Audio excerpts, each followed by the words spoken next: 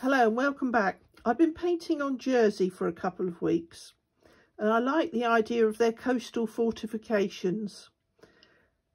I found this lovely red and white tower and went down to the beach at low tide and did a few sketches and then came back again when the tide was in a little bit and decided the best thing was to go up the hill to a car park and picnic area and get the whole view. Having done a quick sketch of the tower itself. They're always slightly different when you transfer them but what I've done is just tried to make the least number of marks. And I've put in the big pieces of rock and the tower and just a few indications of the hillside behind where the trees are. So the next thing to do is to put in a nice warm sky.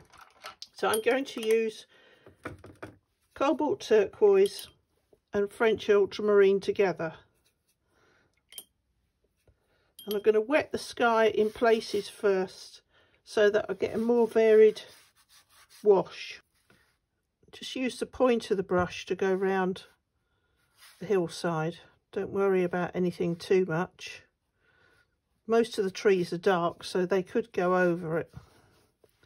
Just mixing up some more paint and then I'll get a slightly different colour mixing it up again which will all add variety starting from the far corner going back onto the pad. This is rag paper and it's glued to a block. You just use a knife and get the the next pad off. So it's quite good at taking a wash. It won't buckle or anything.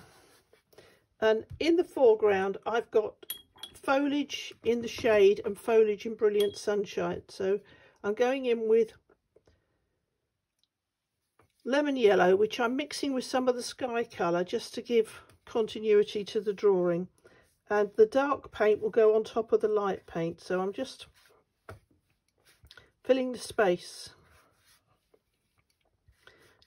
For the rocks, I've mixed up burnt sienna and yellow ochre. Then any highlights I can put in in Naples yellow or water it down but I just want them to be warm against the sea. So first of all I'm covering the white paper. I'm using a number eight brush. Just getting the rough shape in. And the same with the little one. Now the wall at the back this isn't all rock. Some of this is blocks. It was a start of a sea defence. So I'm just going to put a little bit in there. And then this one has got a lot of seaweed on it, but I'm just going to put the shape in.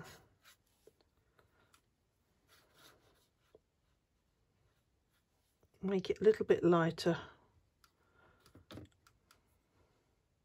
Just drop the Naples yellow in on top because it's got quite a ridge.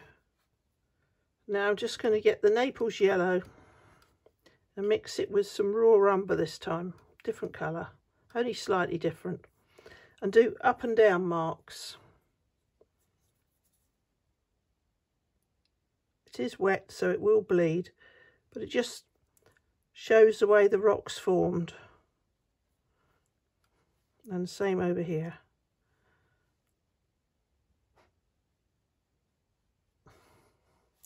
And even the little one can have a few up and down marks. Then this one is more distinctive because it's nearer.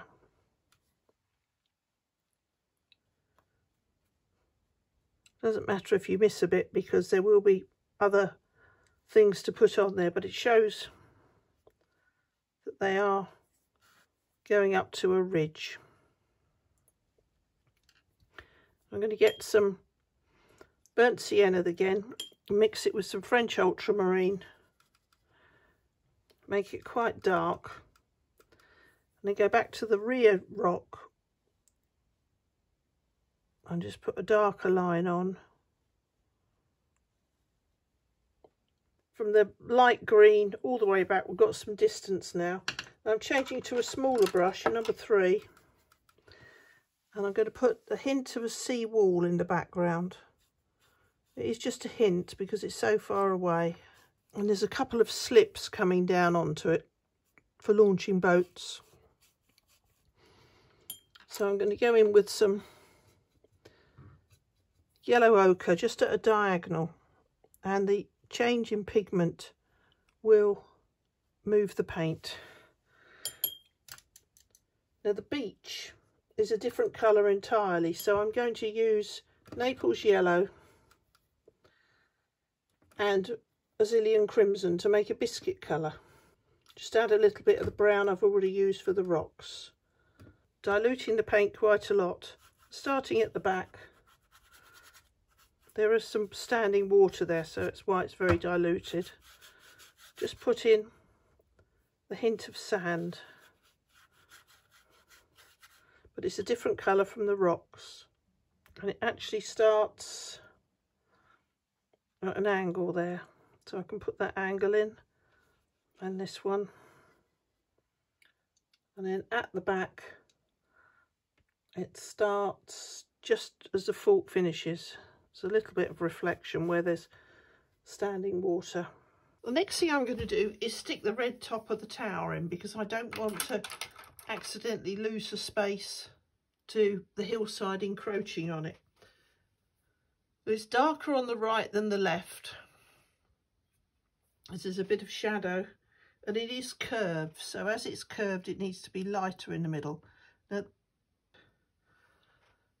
so I'm just going to make it lighter in the middle. I'm just going to drop a little bit of orange in. And while I've got the same colour, I may as well do the bottom. And that isn't level, so that's a, it's got a defensive wall on the left. So on the right, it goes all the way down to ground level. Mm, it seems to be about halfway. So again, a little bit more paint on the right and on the left, and then just half a brush full of orange in the middle. And then go back in with clean brush full of red on the right to make it a bit darker and at the top just to show it's catching the sun. So the next thing I need to do is the skyline. So I'm referring to the sketch I did earlier and it's just sort of all wiggly.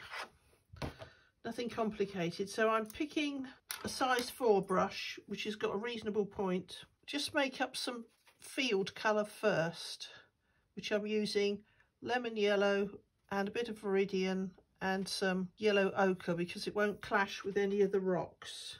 Sort of a warm colour. And there's a lot of field, so I'm just going to make a line and then I'm going to move the paint. Because I want it to be quite light to start with. Just to claim the space. It needs to be quite light because it's a reasonable distance. I don't necessarily put everything in when I'm drawing it. I leave room to just make marks. So I'll just wiggle the line just to make it less dominant. And I can come back to that. So I'll start on the top left and put some woods in. And I'm going to use the Payne's Grey again. And then mix it with French Ultramarine and a little bit of lemon yellow. And the trees are all circular.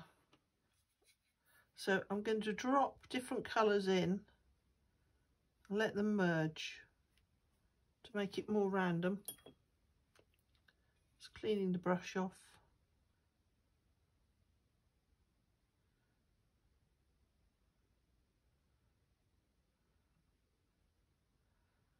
I can drop some yellow in there as well, which I'll drop chrome yellow in this time just to give a little highlight of the tops of the trees catching the sun. Just put some on a fairly dry brush and it'll find its own way. I don't want it to look spotty but just to give a little bit of definition. And there's another area of woods further forward so I can do the same thing move the paint around take a little bit more blue and drop the blue in between the green and then I'll do a random hillside for me. Put some in at the top, wipe the brush off. You've got to remain in control, so keep dabbing the brush off. You don't want the brush too wet or with too much paint on. Sometimes less is more.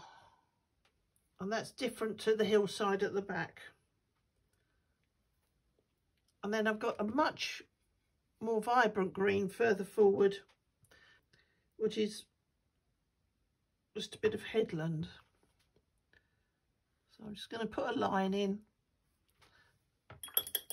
and then drop other colours into the line. And then there's some buildings.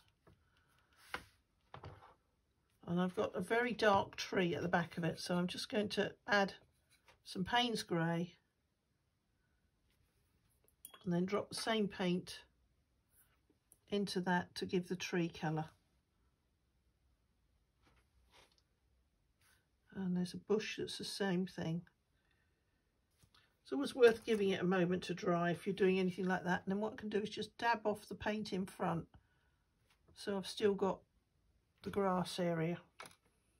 And then at the very front, something different growing. It's quite blue. I'm going to get brush and just lose one side of that as a lost edge. Now I can do the area around the tower, which is trees with a very dark waterline. So I'm going round the box on the edge of the tower, round the hatch on the roof and round the white flagpole.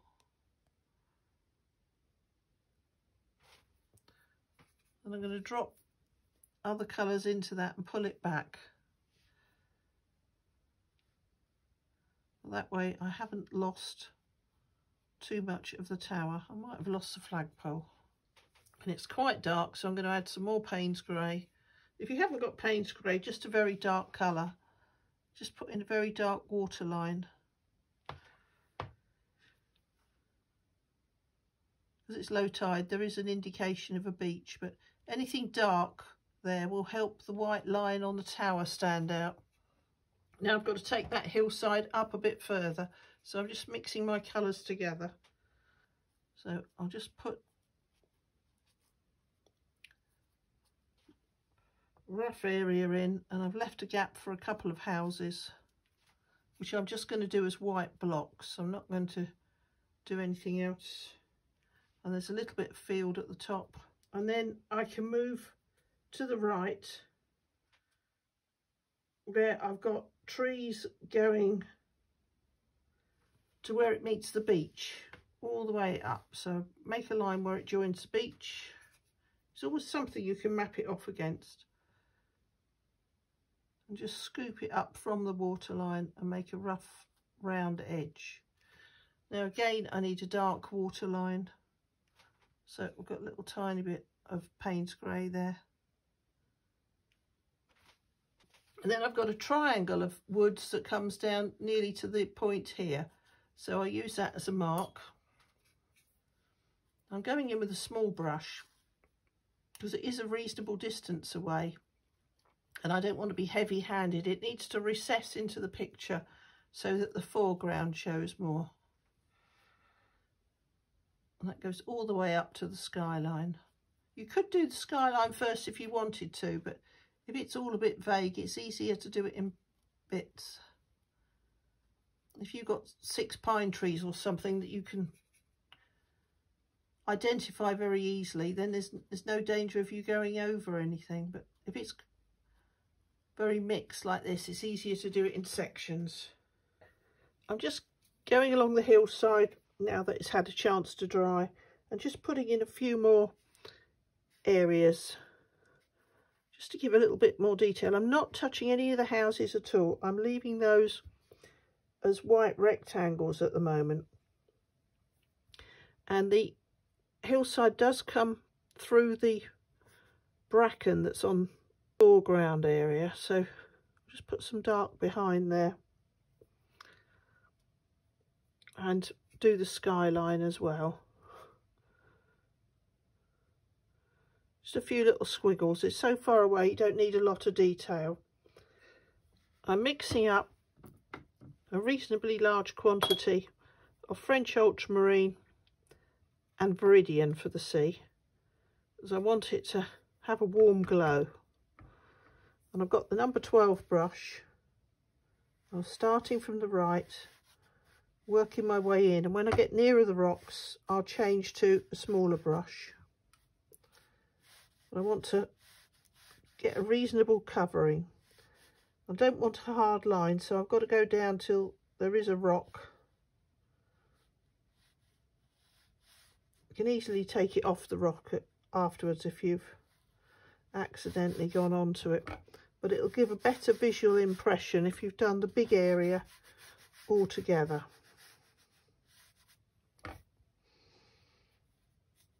Gives it that summer holiday feel.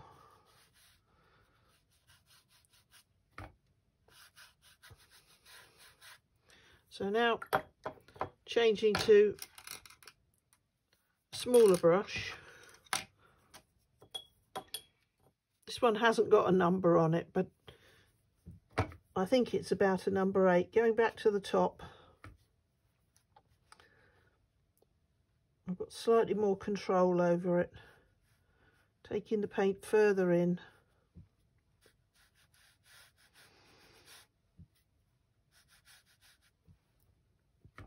It was the fingers of blue that made me want to paint the picture.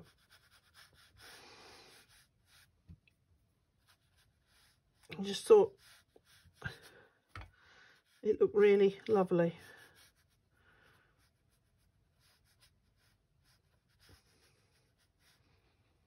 And this is about half tide. If you go there with full tide, there's no rocks showing at all. Now I'm just going to add a little bit of violet to that colour. Got cobalt violet here. Just put that in the shallower water.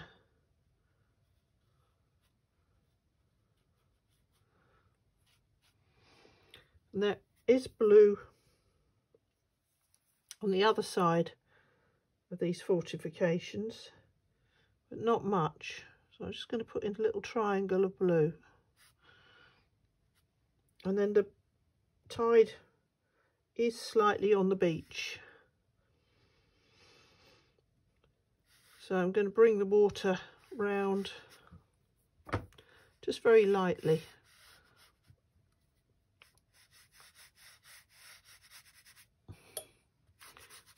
just very thin wash of paint because the sand is showing through and the same in the foreground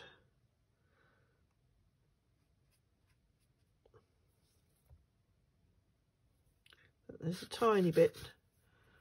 We use the side of the brush just to put a hint of blue on. But it is more dominant at the back here. There's obviously a channel of water.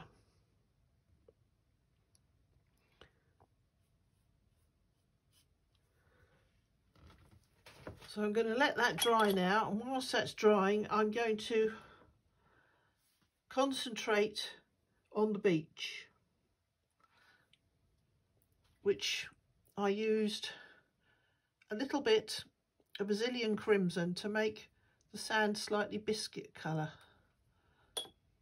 So I'm using Alizarin Crimson and Yellow Ochre and then a little bit of Naples yellow to soften it.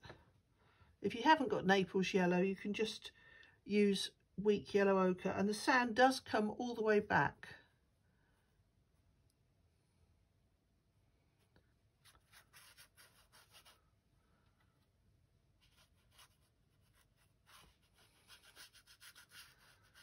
And I've got lots of stones on this first beach.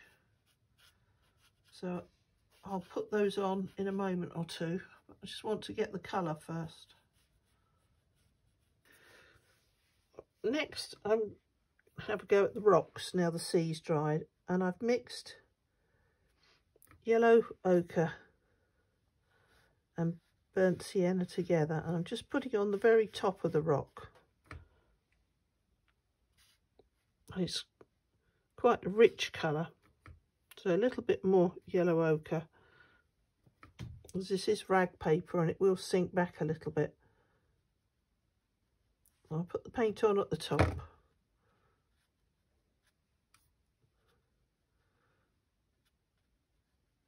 and then I'll go in with brown from the bottom but before I do that I'm just losing the edge no more water just moving the brush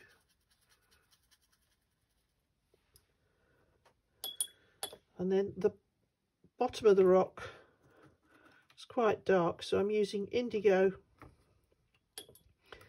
and burnt sienna together it's a bit bright so I'm going to add some Payne's grey just to dull it down a little bit if you haven't got Payne's Grey, you can dull it down with some French Ultramarine. Just needs to be knocked back so it's not too dominant. And just go in from the bottom. At the very point here, it's quite brown. I'm just following the line of the rock and lipping the paint upwards.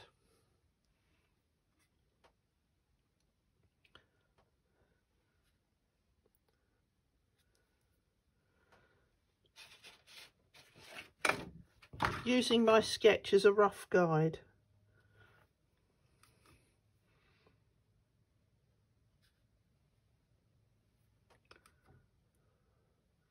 And there's a lot more towards the middle. So I'll put that in and then work away from it, having taken most of the paint off the brush. And then just lift the brush and put it down again. So it's skipping and it's a bit darker at the top a few recesses in the rock so just drop some wet paint in and then there's a couple of marks and a little bit on the top so the little bit on the top I'm just going to wet the brush and dry it so it's clean and then just feather the paint out and then at the far end of the rock sort of fingers of paint that I'm putting on. I'm not sure whether it's seaweed or something stuck there, but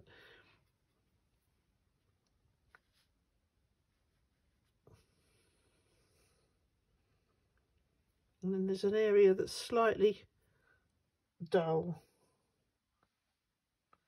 Just might be a flatter area where the water's lying and it's not getting so much sun reflected on it. I put that on, that looks quite three-dimensional now. And the first rock has got very dark top, which is quite useful because it separates it from the beach.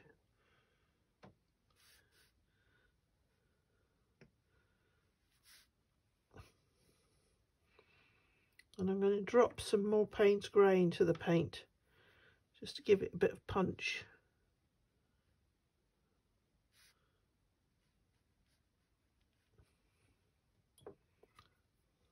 and let the brush down a bit with a little bit of water.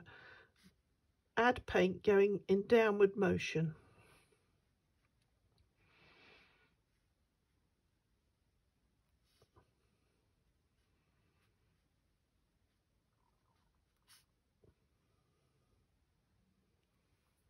And I'm going to feather that out to infinity with a clean brush so it's not too much of a harsh line.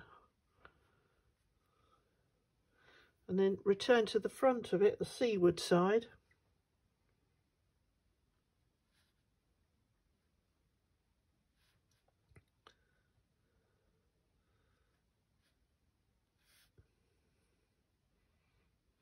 There's more brown in some places than others. But the front area, and the second finger of rock, is quite brown.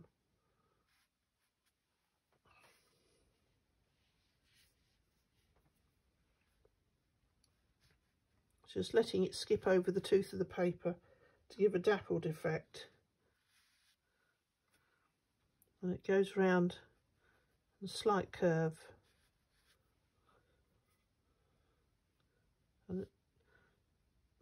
very ridgy rock. It's got lots of crevices in it, but they're all fairly uniform, like little slots.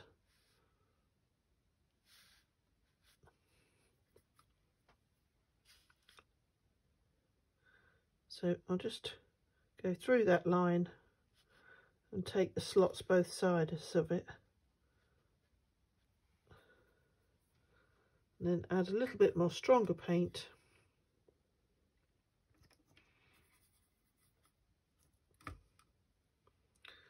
And just gently add a few darker areas to punctuate it. Now I'm going to go in with some yellow ochre and I haven't cleaned the brush too well. It's a little bit dirty, which will give me a different tone.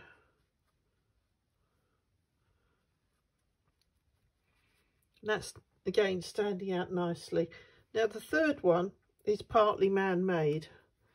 It's got blocks that were laid. So I'll do some with the number three. And I'm going to return to a flat brush.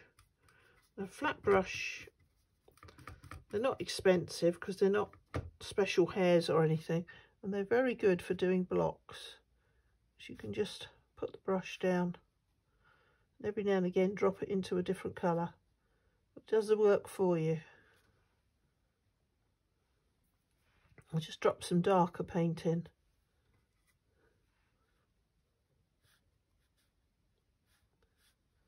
and let that dry a moment. So I'm just going to put down a few little dots. Then I'm going to go over them.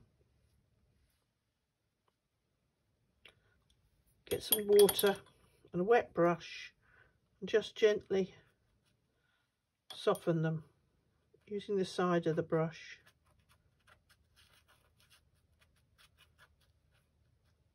so they're less dominant.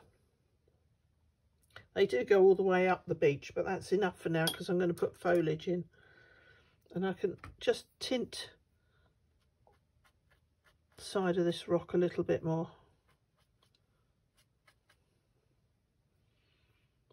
Make a different brown.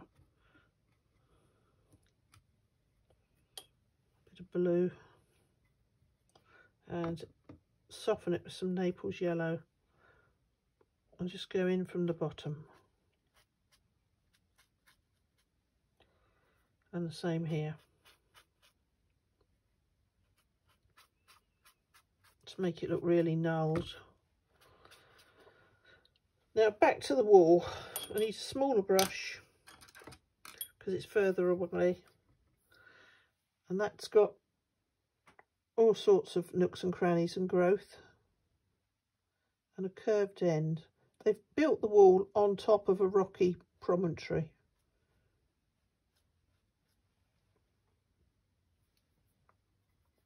So we've got rocks and man-made blocks or stones that have been shaped. So we've got a bit of both.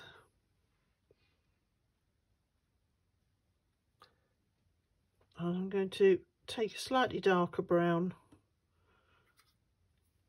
and do upward strokes to show the facets of the rock.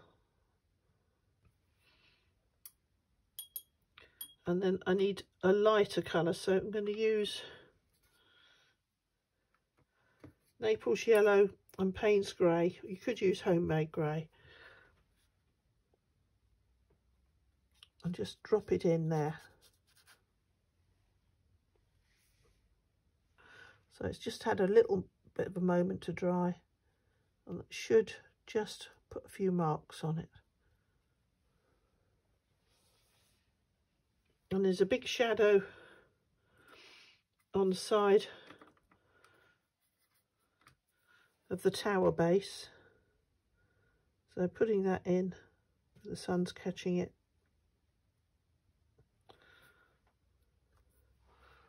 Just as this is paper with a tooth, just flatten it off a little bit. Now I need an even darker colour, so I'll add some indigo. And there's a darker patch right at the end and a line. And then there's some steps here with a line underneath. And I need to make it a little bit grey, so I'm going to add some yellow ochre and a little bit Vermilion Crimson just to give a different colour and put in the waterline.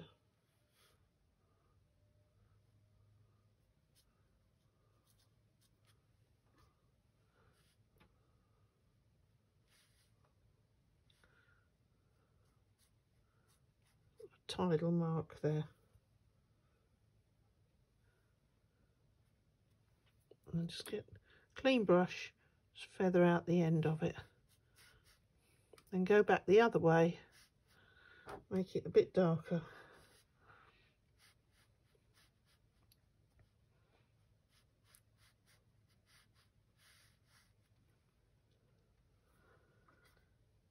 And then there's some very dark rocks on the beach.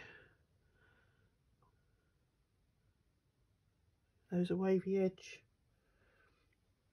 And then more rock that's even lighter that comes down back onto the beach. So I'm using more yellow ochre. I'm just going in from a different direction for that.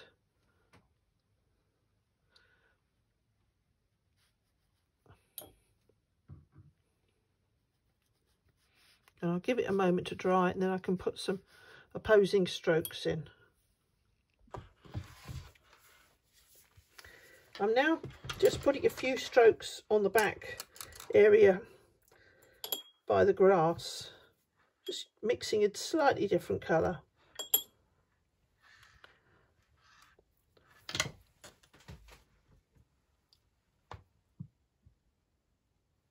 Dropping it in.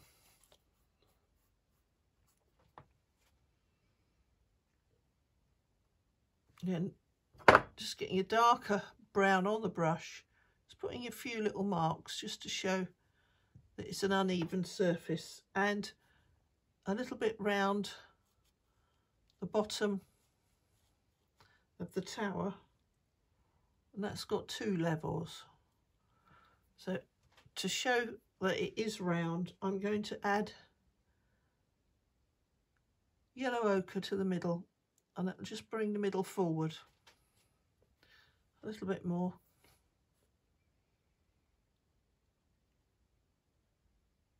Make it look circular. Now the beach has got lots of rock on, but I don't want a beach to look too complicated. So I've just picked up a mixture of my browns and I'm just going to put a few little marks on the side of the brush because there is a channel of water going through there. So if that's a slightly brighter colour, the water will show more. But you don't want to put every pebble on the beach in. You just need to do it very gently. And go round the back of the area I've just done where there's a channel of water. Bring it forward. And then there's reflections in front of the tower. But the channel of water does go slightly around the other side. It's obviously different level there. So put that in.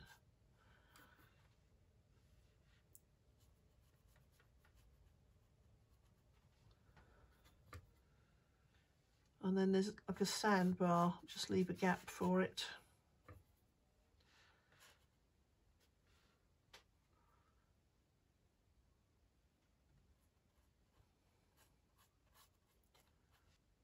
And then the water here is a different colour, but it comes in. So I need to add some more violet to it. If you haven't got violet, just add a little bit of crimson.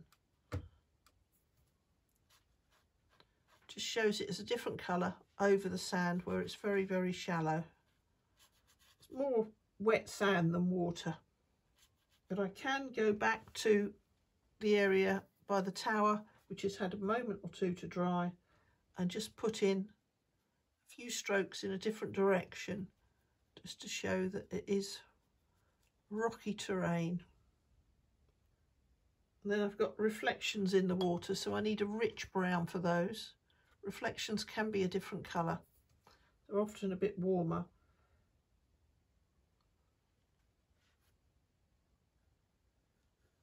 And it's not necessarily red because it's coming out from the base.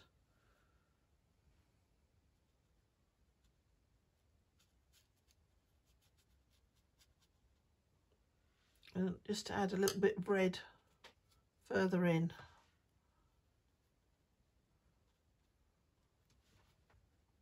There are one or two people in the water, which I'll just indicate head and shoulders afterwards. But the next stage is to do some foliage. And I've got lots of foliage over the picture, which I started to indicate in my sketch just to remind me. For the foliage, I'm using a rigger. I'm just going to go the way the plant grows. So I have a central stem. And just take the fronds out and down and then they sort of subdivided so I'll drop some dark in first and then go sideways with the brush just make the central stem bolder and this is more in clusters so they're different stage of growth, perhaps more protected, that the fronds are narrowing towards the edge.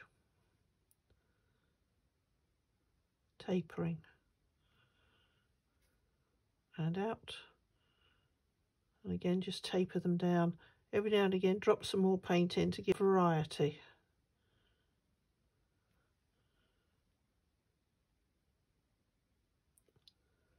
As long as it looks reasonably okay, you'll find. It's just it was I thought it was rather nice the way it framed the view. I'm just going to go back now that's dried a little bit and put some more on there. They do have light coming through which makes it more interesting but you could sometimes you need two coats to put it on. And another one you still see the beach. And then coming forward you can put as many of these on as you like but it was just I thought it was nice the way it framed it. This one comes down over the rock and it's closer so the fronds are in more detail so I'll put the sideways ones on first if things are further away or nearer you have to vary the way you deal with them. There's also a slight colour change that this one is more in silhouette. So I'll drop some dark paint on when I've finished. And because of the angle, I can't see the fronds at the back so much. They're sort of lost. So I'll now make these ones a bit bolder, putting more colour on, thickening them up a bit. And then go back with the centre stem.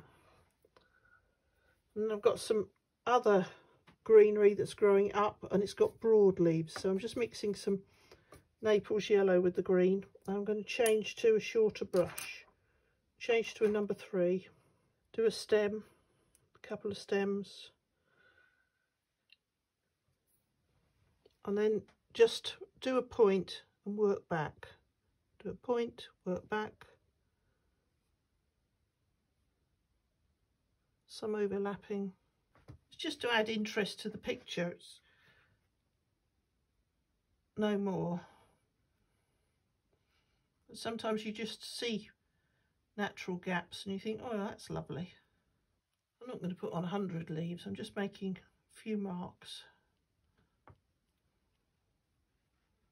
A few dappled things around. Then I've got lots of other things going through. So what I'm going to do is just wet the page. Just use some water to wet it. All over the green. And I'm going to drop in some more vibrant green because some of these plants are in the shade and others are catching the sun. So just drop some in. Ring the changes tint it a little bit and then take it past the line.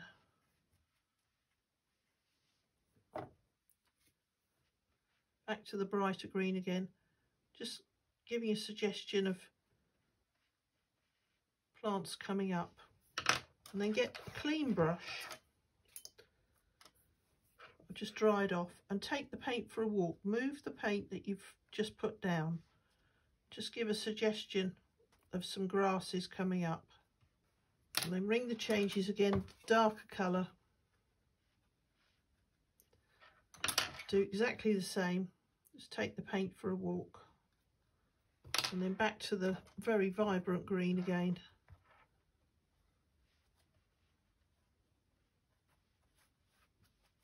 And then I'm going to give it a moment to dry and then add more bracken, but I just want it to dry off for a minute first. I've got different strokes going into it. And a few just wiggly lines. Now I've got a big, I've given this five minutes to dry and I've got a big bracken coming through with a curve on it. So again, I'll just put the sideways fronds on. And interestingly, some of them are different colours here. It's catching the light. So now I go back in and just give them a bit of body. And then there was some very bright green where some of it was catching dappled sunlight. So I'll just drop some very bright green in. Run that through.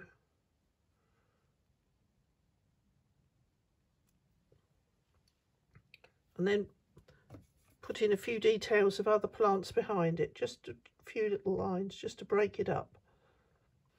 Then change brushes. Go back in with a number three.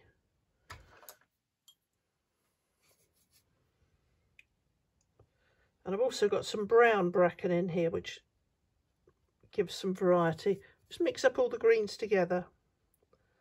And try and give a suggestion of a natural hillside. To use Indian red for the dried bracken. You can use any colour that you've got and just mix it with some yellow ochre. And that, because it's dried off, it's all crumpled. You just make a suggestion.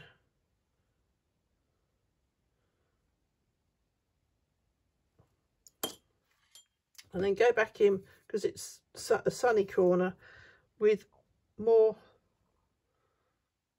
of the brighter green. Just do up and down strokes to show anything that's there and I'll change to the rigger. Go back in with that and give a little bit more detail. The rigger only holds more paint so you can do things without stopping but if it's a small area there's nothing wrong with using just a normal thin brush. It's probably easier for you to use whichever brush you're more familiar with. Just breaking it all up so it's not a solid area because the rocks are a solid area so this needs to have variety to lead you into the picture. Changing colour. I'm doing some bending over the other way. I'll just put a tiny bit more dark on this.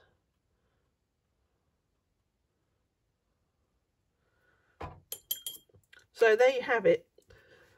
Archirondel Beach and Tower St Catherine's Breakwater and a lovely day out. Thank you very much for watching and I hope you'll try painting on the spot yourself soon.